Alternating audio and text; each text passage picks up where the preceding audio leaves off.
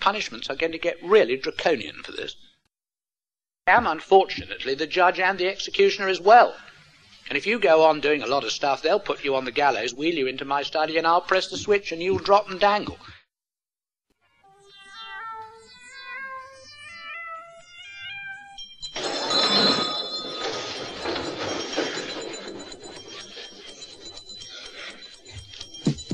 Will you sit down, please?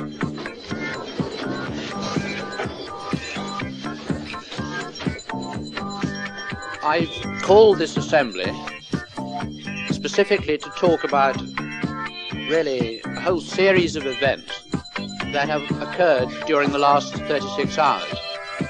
I think actually they are the culmination of other events that have taken place before that, some of them. But I think it's easier for you and for me and for clarity to stick to the last 36 hours. I don't normally, when I get into one of these situations, mention names. But I'm going to this time because it is absolutely essential that when this assembly is over, everybody in the school knows precisely where he or she stands, and incidentally where the common room and I stand. The starting point is yesterday afternoon when I am contacted by Mr. Exon to say that two boys in King Alfred House are in the cells in Taunton Police Station for shoplifting. Those two boys are Robson and Savage. Mr. Exon went down, and when he got there, of course, Robson is over 17, Savage isn't. And under the law, if you are over 17 and the police catch you committing a criminal offence, they can interrogate you straight away, which they did. Robson had signed a statement to the police, and when Mr. Exon arrived, Savage had to do the same. The fact what they did was the two boys went down the town and on the way conversed and made up their mind they were going to go on a shoplifting escapade. Savage suggested it. Robson carried a bag. Robson agreed. They went to three shops, Winkworth's, Boots and Debenhams. And at the first shop, Winkworth's, Robson stole two pounds fifty's worth of stuff. Um, Savage a couple of books and a box of chocolates. They then went on to Boots, where, while Robson carried the bag to put things in, Savage stole over £20 worth of goods from that shop. They then went on to Debenhams, where this time Savage stole some records. And at that point, he was caught by the shop detective. Both arrested, and they were both put in the cells. The action that I have taken is to expel both boys. It was quite inevitable that I should do that. The school knows as well as I that we're not having stealing here. That is nothing like the end of the story as far as that's concerned. I don't know what the police are going to do. Uh, I can't stop the police proceeding as well. They say they're so angry about it, they may very well do so. I did say at that point because I wanted to be merciful to Robson, that I would allow him to come back and do his O levels. And we were going to try and smuggle him in, to be quite honest, so that you couldn't see, so that I could have the best of the decision at the same time try and bring a little bit of mercy to Robson, particularly thinking of his family. His reward to me was to get out of the sand where I put him and end up on the roof of the girls' building in Hesse. This was after midnight last night and I thereupon expelled him from King's for good and all for forever and said I never want to see him back here he's lost his O-levels in the That is that particular section of what is a pretty grim tale. You will remember that, I suppose you remember, I now, that I rusticated three boys just before half term for a period of ten days because they had been to the Dolphin public house and I'd told the school to confine the drinking to the places that I'd authorised. Two of those boys, I discovered, deliberately cut the Remembrance Sunday service. Two of the same boys, and they were Drew and Foxwell, and the punishment they've got for that is very severe because it amounts to downright disobedience. So in my book, if you've already had one punishment and you straightway flout, flout the authority of the school, you've got it coming. So they have written an essay on trust. They're gated indefinitely, probably for the rest of this term and maybe longer. They're working in the in the kitchens at seven o'clock in the morning every single day as, as a present to authority for wasting authority's time. Got a double detention for the whole of the rest of this term, and they're checking in every hour of the rest of this term to sign a book, and that's for starters. I'm also writing to both their parents saying if they move another muscle, I better be end. That was only part of yesterday evening. I'd already by now missed the lecture that I was supposed to be entertaining school guests for a lecture on China, when I find the following set of facts. That on Sunday night, all the following people were out drinking behind Hewish's. Robson, Savage, Fran Whitaker, Peerless, Dunsford, Sarah Sims Williams, Vanessa Ham, Mill, Candida Townsend, Berry, Sarah Peacock. Two of those, Candida Townsend and Berry, were already gated. So their package is that they're gated for 14 days, they're confined to their houses, and they will have regular roll calls every hour for doing that. And Candida and Berry will get another punishment, probably double from their housemasters for defying them they're already gated. And I'm about to write to their parents and say if they do another thing, they'll get sacked as well.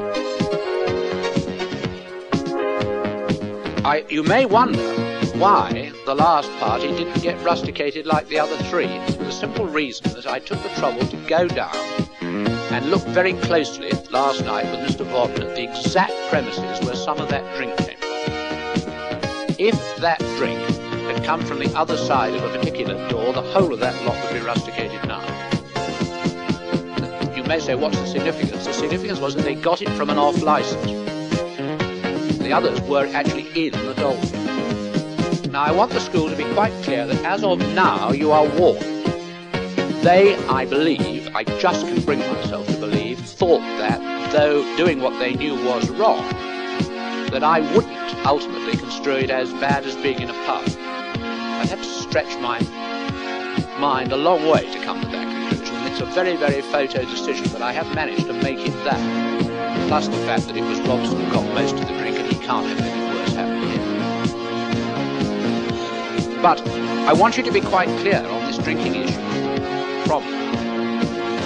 When I said at the start of term, stop the. When I said at the start of term that I did not want you to drink except in the places authorised, I meant that, and nothing, neither more nor less.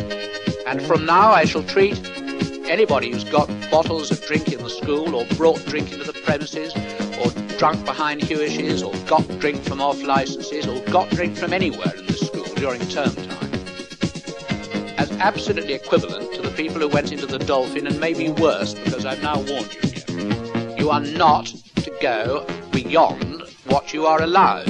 And the reason is perfectly obvious because it is sensible.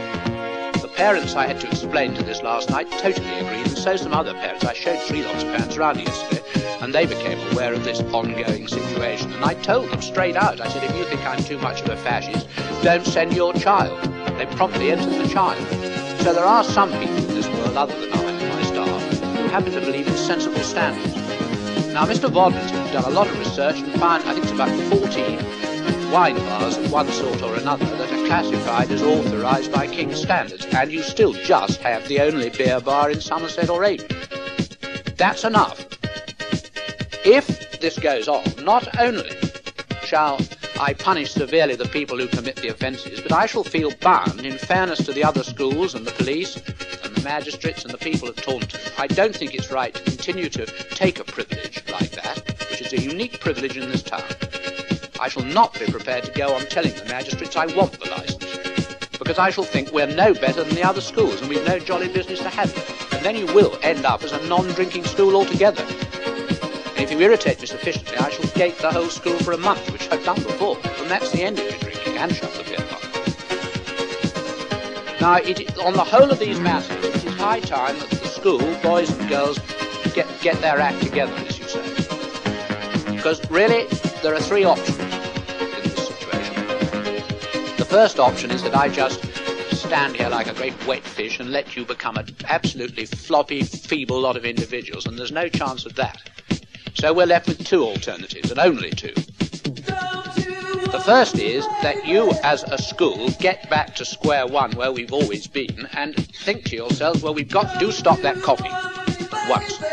It's absolutely unnecessary. We've either got to get to our situation where we've been, where the staff and I, on the one hand, and you on the other, work together and realize that the only way to have a happy school is for everybody to trust each other. The other way is for you to go on trying to have the best of the trust system as you see it, have it both ways. Go round boasting about the glories of the trust system until it affects you and promptly break the rules, hoping you won't get caught. Now that is one that you can try if you like. If you want that system, well, my, all I have to do then is to cancel all the nice things you were going to have. No pajama parties, fun, games, amusements, and all the things, and tolerance and understanding and, you know, a, a relaxed sense of humour situation and deploy the uh, set out to catch you with every sort of trap, curtail your liberty so we know where you are, have roll calls all the time, and deploy my entire teaching staff uh, to operating as sort of police officers, which is the old style school.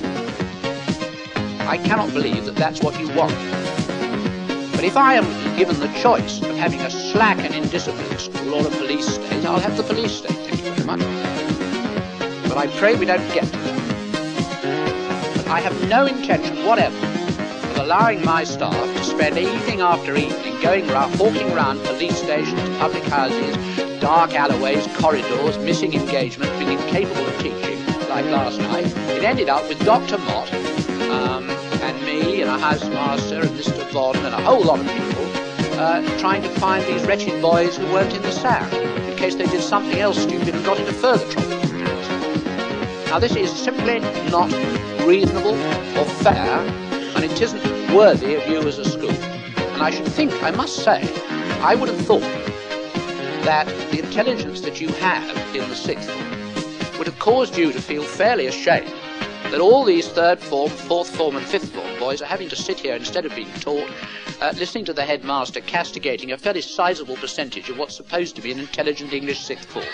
All sixth form boys, pretty, pretty and it's resulted in a catalogue of misery for parents, two boys expelled, police charges, four people under a final caution, and about 25 to 30 people reporting every hour like tiny little boys in the old days. Now, I, shall, I want to see now, in, I don't want to see, I'm going to see now, in the octagon room, all the prefects in this school, school or high. And I shall put the matter to them as well, quite clearly. And you will show me I don't want any statements. You show me by your actions in the rest of this term which way you want it. And don't tell me afterwards you didn't know what I was going to do if you do. Because if you go near any illegal drink again, my God, you've got it coming. You really have. What I've said this morning is me at my most tolerant. You may not think it sounds like it, but it's absolute paradise to what the next assembly will be like if you try me any more.